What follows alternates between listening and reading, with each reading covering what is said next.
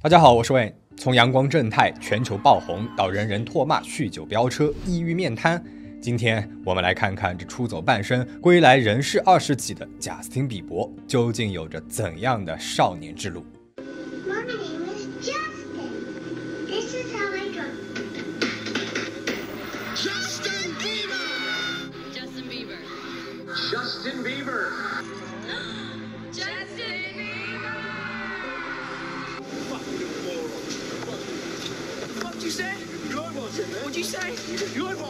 Uh, recommend fame at such a young age for anyone? Um, I don't. When I started, you know, I didn't have any expectations, didn't know what this life was about. I was from 加拿大安大略省有一个英式小镇，叫做斯特拉福德，以莎士比亚的故乡命名，以莎士比亚戏剧风情闻名。自19世纪至今，已经有近两百年历史了。如今，除了莎士比亚之外，它还有第二个名头——小天王贾斯汀·比伯的故乡。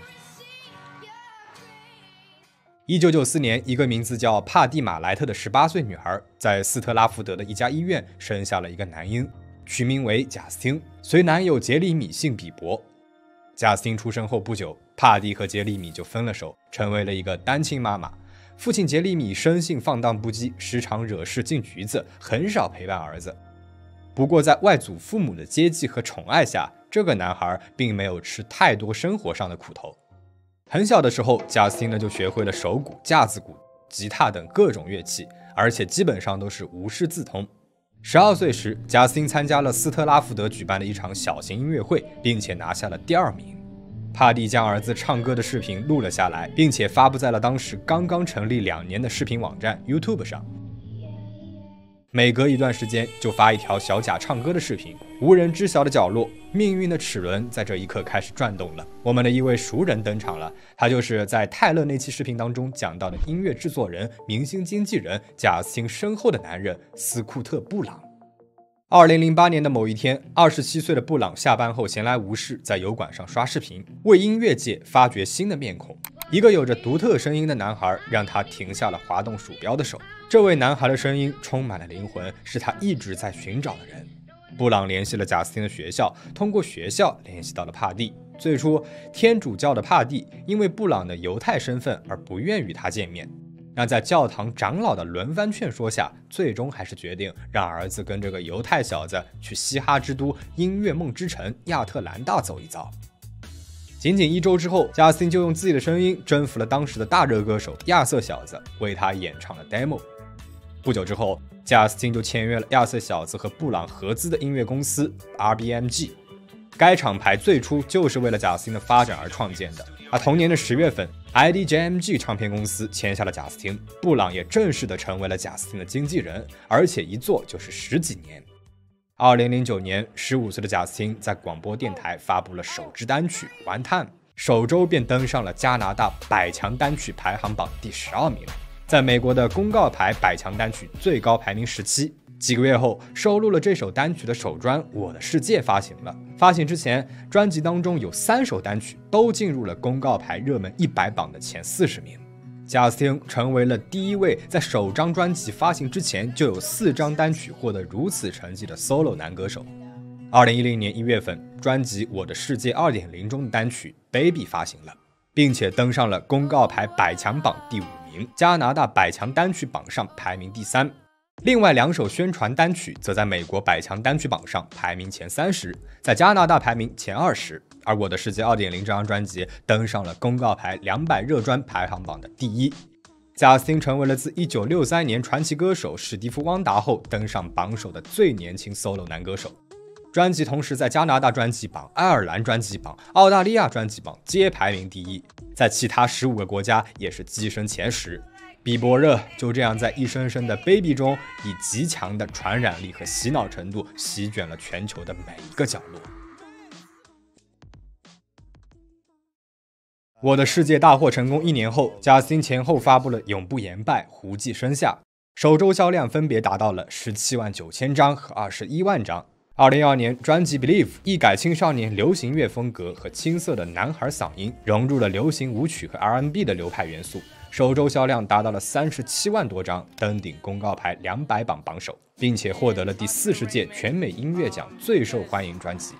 以当年三百多万张的销量，成为了全球第六畅销专辑。其中主打歌《Boyfriend》名列公告牌一百榜的第二名，加拿大热单一百榜第一。次年年初，《Believe》原声版发行，在美国的公告牌两百专辑排行榜上排名第一，使贾斯汀成为了美国音乐史上第一位十九岁之前就拥有五张冠军专辑的歌手。那几年，贾斯汀风光无限。位居福布斯三十岁以下富豪榜第二位，也是榜上最年轻的一位。但是名利的作用向来都是相互的。You know what I'm gonna kill? It's Justin Bieber. In school, I learned about hermaphrodites. I never really understood the term until I saw Justin Bieber's one-time video. Baby 这首歌的 MV 成为了油管被踩最多的视频，恶搞和批评层出不穷，尤其是同龄的男生们。正太形象、娘里娘气、声音太幼稚、女粉丝太多，都是他们的攻击理由。这是每一个明星出名之后的第一顿套餐，硬着头皮吃下去，无非面临两种后果：有人肠胃好挺过去了，那有的人啊就会消化不良。对于贾斯汀这个自我认知还没有健全的小孩来说，显然是有些消化不良了。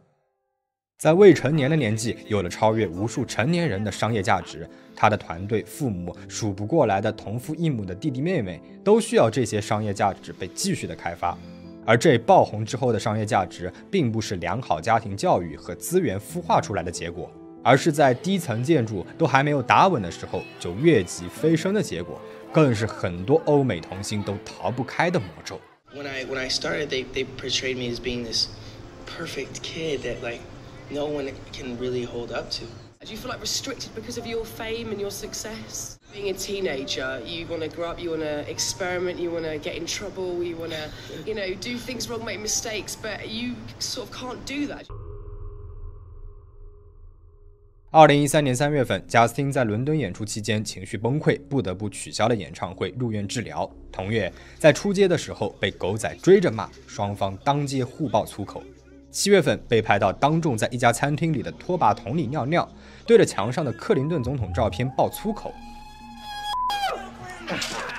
同月被拍到往楼下吐口水，被媒体大做文章，配图呢是哭泣的粉丝，称其侮辱人。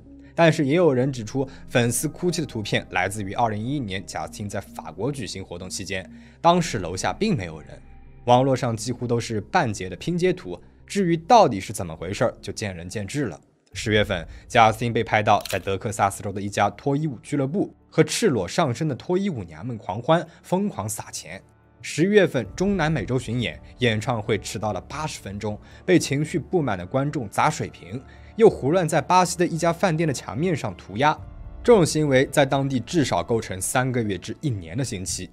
之后，这位小天王呢又被爆出来在巴拿马、巴西等地招妓，带着几十名辣妹在豪宅狂欢。一位名字叫塔提娜·维斯的性工作者还放出了一段床上的录像。视频当中的贾森·比伯正在床上熟睡。视频发布短短五天，点击率就超过了三千万次。该女子后来在接受英国《太阳报》专访时，还对他赞赏有加。之后，在阿根廷巡演期间，又因为把台下歌迷扔上来的国旗给踢下了台，引发了现场观众的众怒，被阿根廷政府封杀了五年。对此，他的回应是，以为那是一件衣服，没有任何不尊重粉丝的意思，并且表达了歉意。二零一四年一月二十三号，迈阿密，十九岁的贾斯汀在酒后开着一辆黄色兰博基尼飙车时，被警方给逮捕了。During the investigation, Mr. Beaver made uh, statements that he had uh, consumed some alcohol and that he had been smoking marijuana and consumed some prescription medication. 非暴力拒捕、驾照过期、酒驾加毒驾，贾斯汀最终以两千五百美元获得保释。一周之后，又因为在老家多伦多涉嫌危险驾驶、袭击房车司机、聚众斗殴而进宫。这件事情过去几天之后，贾斯汀与父亲、司机等人共同飞往新泽西州时，被海关和边防部门拦截了四个小时，疑似在一行人乘坐的私人飞机上检测到了大麻，但是没有搜出其他的毒品和违禁品。之后在家中开派对时，向隔壁邻居连扔了二十几颗鸡蛋，隔空对骂，被邻居起诉。另外，有几年前的一段视频也突然流出，视频当中，十四岁的贾斯汀将部分歌词替换成了对黑人的侮辱性词汇。对此呢，他站出来认错，称自己当年是年幼无知。数次违规驾驶、不敬业、种族歧视、吸毒、未满二十一岁酗酒、当街斗殴、饲养野生卷尾猴，又因为不准备防疫文件导致猴子被海关没收。参观二战受害者安妮·弗兰克之家时，发表希望安妮·弗兰克是比伯粉的迷惑言论，等等原因，让这个全民偶像变成了全民公敌。一位娱评作者写过这么一段话：在厌恶小天王这点上，美国群众是达成了高度一致。上一次全美人民团结一致敌视一个人，还是十多年前的本拉登。那年的二月份，美国二十五万人联名请愿上书，希望把贾斯汀给驱逐出境。而对于中国观众来说，印象最深刻的应该是这张埃及帖了。贾斯汀去日本的时候，顺道参拜了靖国神社，还抛在了网上，引起了众怒。他说自己对此并不了解。以为这就是一间寻常的寺庙，并且删除了图片，向大家表示歉意。后来的爬长城事件同样在国内引起了批评，直到几年后依旧被禁止在北京演出。那相比起这些出格，贾斯汀面对过最严重的一项指控是性侵。一位 ID 名字叫丹尼尔的推特用户发文称，自己在2014年3月9号被贾斯汀比伯性侵了。作者说，当时自己在德克萨斯州的一场音乐会上遇到了贾斯汀和他当时的女友赛琳娜。那天晚上，贾斯汀邀请他去了四季酒店，主动亲吻了他，并且在他明确表示想要离开的时候强迫了他。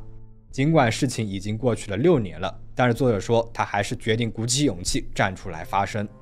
文章发出不久之后，一名贾斯汀的粉丝在网上声援了丹尼尔，表示自己也是受害者。根据这位网友的推文，他是二零一五年五月四号被贾斯汀占了便宜。他说他当天去了贾斯汀在纽约的活动，贾斯汀的保镖麦基主动的留了这位网友的联系方式，这是两个人的聊天记录。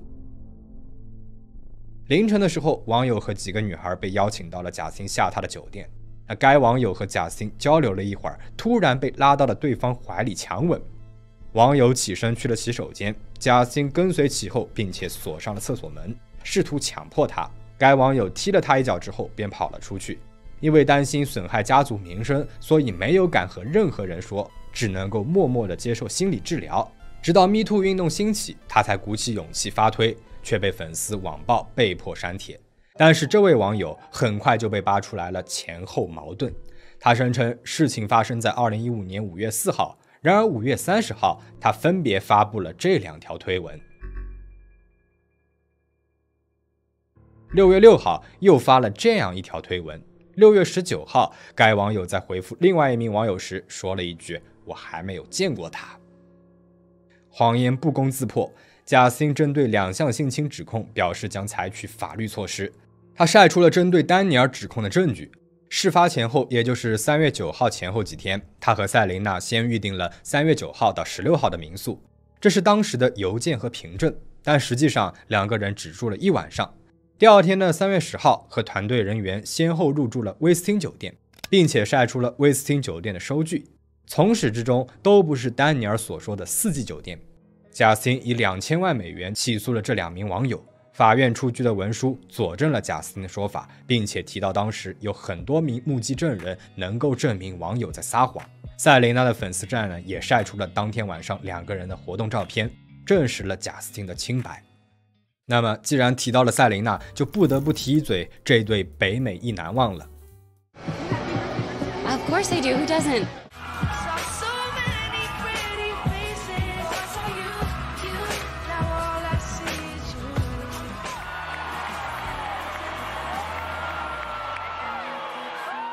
磕 CP 是全球人民的统一技能，哪怕是如今的贾斯汀老婆海莉，都曾经是贾琳娜的 CP 粉。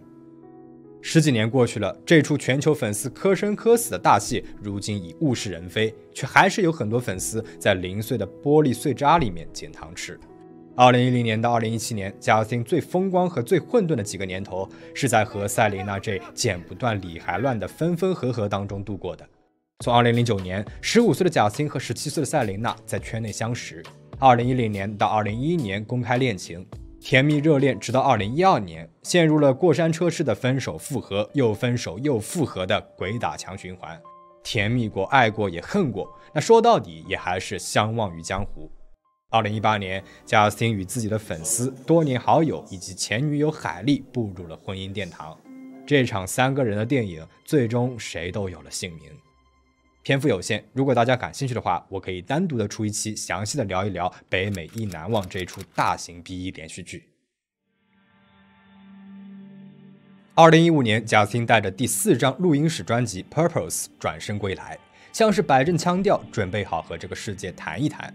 这张专辑里面融入了一些宗教底色，正如贾斯汀本人以一种更加虔诚的方式投入了上帝的怀抱。这次回归的反响倒也是出人意料的不错，连续斩获了三支冠军单曲，包揽了2016年公告牌年榜冠亚军，全球唱片总销量突破了一亿。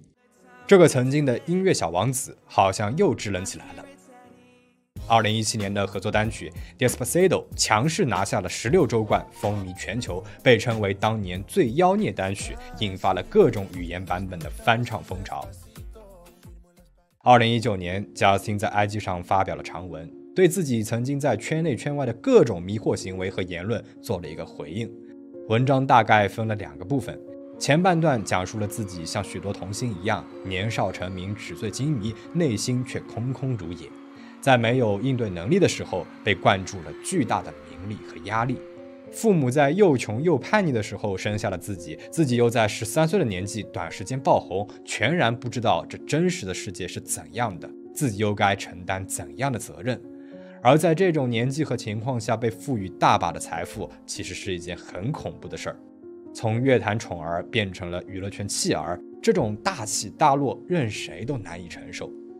那在文章的后半段，贾斯汀对自己的错误进行了审视，坦言了从前滥用药物的历史和不认真对待感情的态度，反省了以前的厌女心态，把爱自己的人拒之千里的封闭心态。Do you rec uh, recommend fame at such a young age for anyone? Um, I don't. When I started, you know, I didn't have any expectations, didn't know what this life was about. I was from a really small town in Canada, so um, it all happened really quickly, and I there was no way for me to really adjust and know how to deal with it. So I handled some of the things in in like a just kind of just not knowing how to handle it. 二零二零年二月十三日，正值疫情爆发期，北京春苗基金会晒出了贾斯汀·比伯为武汉捐款的荣誉证书，感谢他捐赠的二十万元善款，并且授予了爱心人士的称号。 同时呢，他也发布了视频声援武汉。同一年，贾斯汀透露自己患上了莱姆病，它是由一种细菌博士舒螺旋体感染引起的，由携带病原体的蜱虫传播，会引发关节炎，导致免疫功能障碍、神经系统受损，皮肤出现游走性红斑。所以现在他状态差，并不是外界所说的腹泻，是莱姆病的表现。那同样患有此病的加拿大歌手艾薇儿也隔空送上了祝福。二零二二年，他又患上了亨特氏综合征，主要病理表现为病理袭击耳部和面部神经，导致一侧周围性面瘫，并且伴有耳廓疱疹。如果治疗得当，有百分之三十到百分之七十的几率可以康复。那今年看起来他已经恢复了不少了。二十多岁的年纪，经历了巅峰和低谷，世人追捧和声名狼藉。虽然没有到大彻大悟的地步，总算是消停了不少。明年，这位好像总是长不大的少年，终于要三十岁了。这些年，坏事不假，蠢事不少，南墙也没有少撞。如果如今他已经能够以现在的身份和角色与以前的自己握手言和，那当然是再好不过的了。美国精神病学家和心理学家埃里克森提出过这样的一个概念，叫做“青春期同一性对角色混乱”。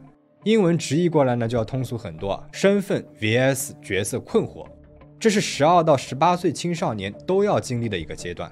同一性呢是青少年人格发展的一个主要成果，它的构建包括了青少年明确自我身份、价值、未来生活方向。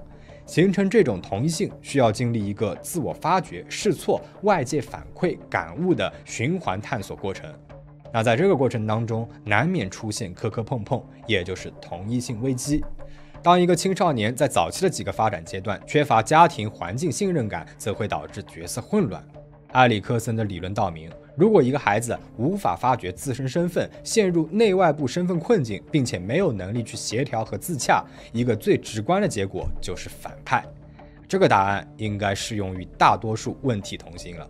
像贾斯汀·比伯、林赛·罗韩，还有外媒口中最叛逆的迪士尼公主麦丽·塞勒斯，还有去年因为西药在家中溺亡的童星，有着“千禧年贾斯汀·比伯”之称的亚伦·卡特，小鬼当家的男主角麦考利·卡尔金等等，他们在没有强力后台支柱的原生环境和强大消化力的年龄下走红，又在从少年走向成年的道路上急转偏航，沉沦堕落。似乎都急于甩掉身上的枷锁，用出格甚至是违法的行为证明自己的成长。但这种情况呢，并不会持续一辈子。在岁月洗礼和一遍遍的头破血流后，大部分人都能够慢慢的形成对身份的认同，确定价值观和未来方向。所以我们会看到，麦丽·塞勒斯也好，林赛·罗韩也好，麦考利·卡尔金也好，贾斯汀也好，都在疯狂之后以各自的方式柔软落地。